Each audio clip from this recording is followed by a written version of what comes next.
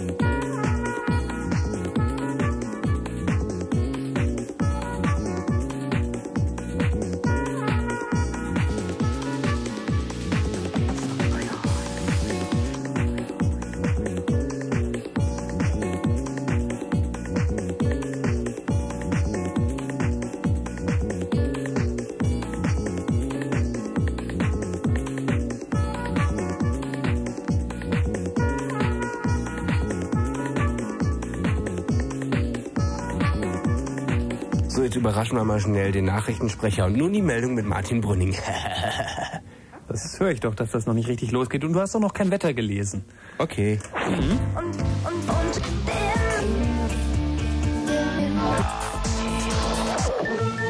Dreiste Musik. Fritz. Na. Wenn Fritz im Raum Angermünde, dann 100,1. Fritz Info. 21.30 Uhr. Das Wetter mit den aktuellen Temperaturen. Angermünde 12, Potsdam, Neuruppin 13, Frankfurt, Wittenberge 14, Cottbus 15 und in Berlin 14 Grad.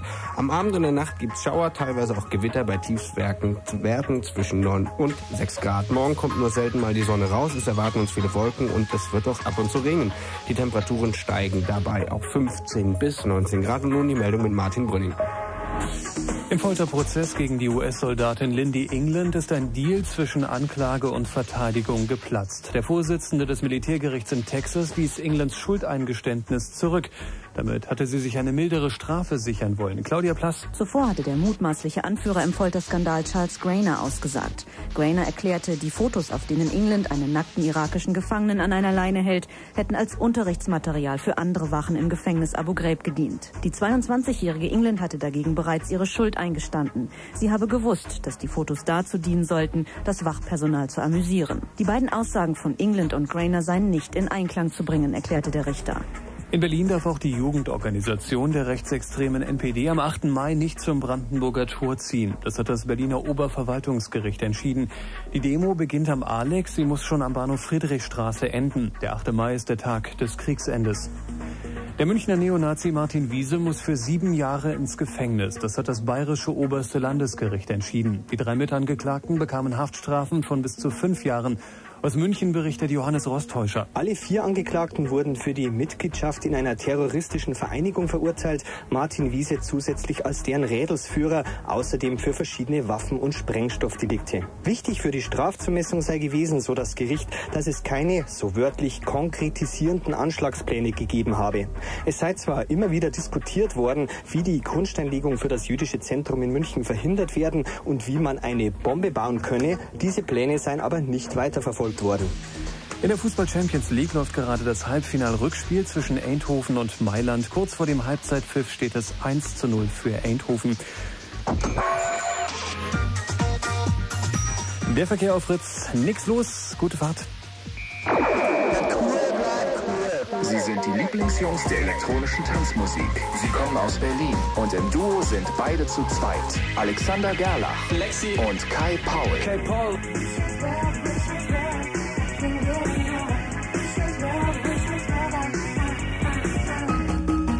Fritz präsentiert Lexi und Kay Paul live.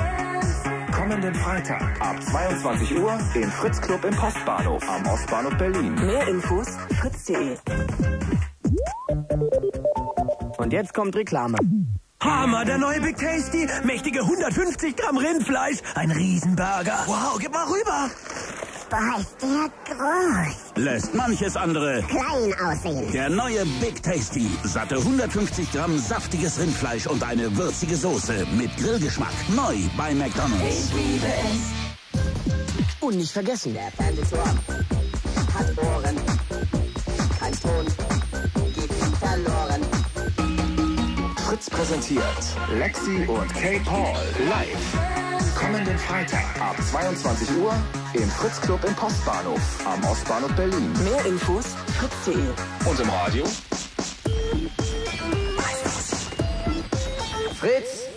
Na, das ist ja mal auf jeden Fall eine interessante Veranstaltung, die da stattfindet. Zumindest weiß man nicht so ganz genau, geht es da um Musik oder werden da einfach die Tiere, die auf dem Flyer zu sehen sind, einfach nur gefoltert. In jedem Fall, ähm, ich weiß ja nicht, was ich davon halten soll. Also ich finde den Flyer total daneben und total scheiße. Ich mag die Jungs total. Ich nehme an, der Grafiker wird einfach nur versagt haben. Dennoch, ihr solltet alle hingehen und dann den beiden einfach sagen, wechselt den Grafiker, weil der Flyer war scheiße. Das ist doch mal eine Ansage. Also in diesem Sinne, viel Spaß.